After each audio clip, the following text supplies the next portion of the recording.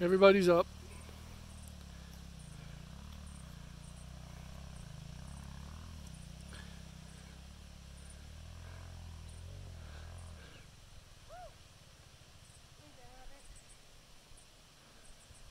I may be responsible for that accident because I went through some trees over here on a little trail and took a turn too sharp and said hello to a tree and bent the handlebar on it. So that probably screwed him up.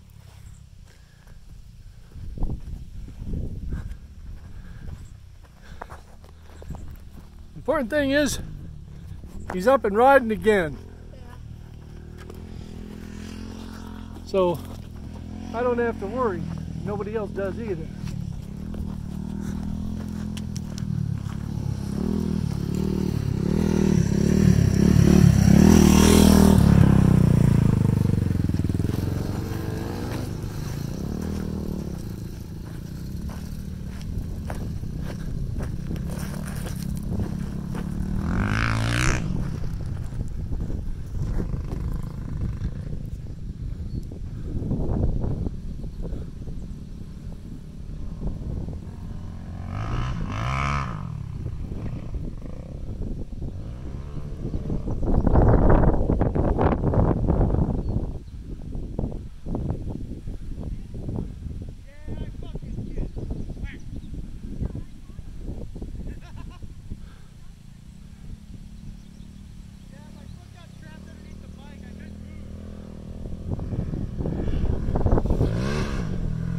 I don't know if you heard that. Jacob said his foot just got trapped under the bike and he couldn't move. That's why I couldn't get it up.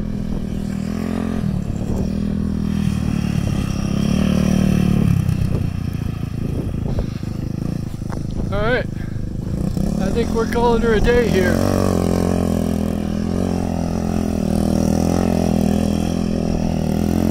Damn kids. You believe that boy's 24 years old?